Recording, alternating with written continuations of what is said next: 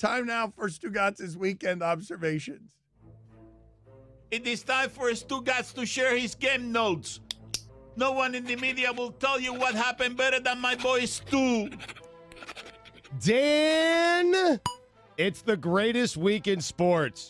A tradition unlike any other. The majesty, the spectacle, the storylines. That's right. It's WrestleMania week. Yeah. Yeah. LA Clippers, 48 and 35. Great coaching job by Doc Rivers, considering how much he has to play his son. Kevin Durant said his increased technical fouls are due to his intense desire to repeat. Oh, please. Kevin, if you mean repeating, not winning a championship in my personal record book, well, then yes, I understand. Sister Jean stealing all the limelight from the players. Sister Jean, please. More like Sister Mean. Calling the national championship game, hopping on a private bird to Augusta every single year. The best week in broadcasting award goes to Jim Nantz. I hate him almost as much as Phil Simms does. Women's Final Four, better than the men's. Notre Dame's guard, number 24, the Big O, clutch, beating UConn, on your way to winning a national championship, earns you two titles in my personal record book. Kawhi went back to New York to rehab his quad. Kawhi, more like Kwabai.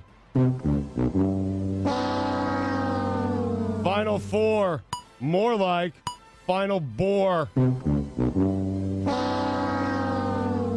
The best coach in Michigan ain't the football coach. Geno Auriemma can't win the big one. Golden State Warriors limping into the playoffs. Steve Kerr saying Vince Carter knows better after he saw Patrick McCaw was hurt. Steve, do me a favor. Do everyone a favor. Get over yourself. You should know better. That's an insult. Uh, you should know better than to insult another coach by letting your players coach the game because his team is so bad. Steve Kerr, so you know, you took over a thoroughbred, an all star team. Steve Kerr, not only have you never won a championship in my personal record book, you've never even coached, period. Guess who's hurt again? Chris Paul. Still can't name a single player on Loyola Chicago or their head coach. Sister Jean leaves the Loyola Chicago game early. Sister Jean, the Stugotz, is strong in you. Dan. No, no, no. Sister Jean can scoot. I thought for sure we were going to get a Sister Jean can scoot. You already used it. I, oh, I, did I steal it from you? You had it lined up? Yes, I crossed it out. I'm sorry. Dan, I took time out of my weekend and penned a letter to college basketball. I'm going to read it to you. Dear college basketball, I don't care about you anymore. Sincerely, Wow. Stugotz. Wow. I'm done with it. No, I'm saying I'm done with it. A 920 start on a Monday. Let me tell you something. All people want to do on a Monday, go to work, go home, eat a nice hot meal, take a shower, go to bed, move on with the rest of the week. You know what they don't want to do? Stay up till 920 on a Monday night, maybe midnight tonight, for two teams they don't care about, and they get him a player on either team. I'm done with it. There's not a single player you can latch yourself to in NCAA college basketball. Not one, except for the Big O. Michigan, Villanova, battle of blue bloods. It felt like the entire country. What just, what just happened? What do you mean what happened there? You railed against the entire. Oh, we got a system. classic tonight, though. Just an absolute beauty. Uh, you got Michigan, okay, and you got Villanova. I mean, the history with Villanova, eight seed over a one seed back in '85 with Ed Pinckney and Rollie Massimino, that whole thing, and then Jay Wright sweeps in, best looking guy in sports, and he comes in. They're a powerhouse. So you have Michigan, Nova, Blue Bloods. I can't wait for 9:20 tonight. I stay up till two in the morning to watch that thing if I had to. College basketball is back. It felt like the entire country found out at the same time that Villanova is good. Every year, without fail, my wife will ask me who the Villanova coach is. And you know what? I don't blame her. Washington Nationals, off to a 3 0 start. Yawn. Do it in the postseason.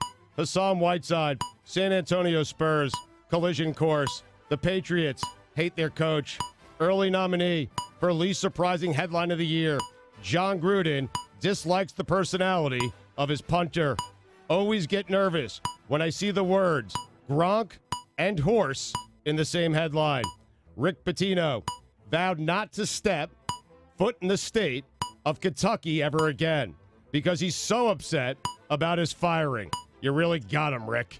At Kentucky, don't worry, he'll be back once he sucks the blood out of all the other states. Pop said he has no idea when the Kawhi group will okay Kawhi's return. Damn, now it's a group, not just an individual. Doesn't sound good. Sounds like he's leaving. Bye. Pat Riley is up to something. I could feel it in my bones. Can you? Uh, there's silence in Rileyville. And we all know what happens when there's silence in Rileyville. We need to be working on something big. When there's silence in Rileyville, let me tell you what's going on. He's being very, very quiet. He's whale fishing, and he doesn't want to disrupt the whales. Whale. How about that? If Thor and the Degrominator stay healthy all year, watch out for the Metskis. Baseball managers, we sit through your long and boring game. Do me a favor. When a guy has a no no going, leave him in the game. Rick Pitino calling the Louisville Board of Trustees, the Board of Traders. A, not funny. Yeah, B, is funny. Is holy funny. hell, is the funny. Stugotz is strong in you. That is oh, what is funny. funny The about it? Board of Traders. it's funny. A vampire fighting against a board of trustees by trying to insult them after they've let him go by calling them a board of traders is funny. All right, fine. I mean, he's been thinking of that line for 400 years. All right. A, funny. B, holy hell, the Stugotz is strong in you. Sister Jean, residency in Vegas, collision course. Hope everyone had a great Easter weekend. Of course, let's not forget our Jewish friends who celebrated Passover, like Tarik Cohen and Juju Smith Schuster. Let me tell you something, and I am serious about this. If Rick Reilly pops out of nowhere this weekend to deliver one of those awful essays Oh, no. about the Masters, No. there's going to be hell to pay. Oh, wow. And speaking of Ah, hell, there it is. Or Bryles. Yeah, hell yeah, there will be a hell to pay. I mean, Reilly. Hey, he comes out of a cabin That's once a year. that's right. And he delivers some clunky essay That's right. about the Masters. That's right. I don't need it. Okay. Uh, Ronaldo's enough. All right. Uh, I got a couple of Those are questions. the weekend updates.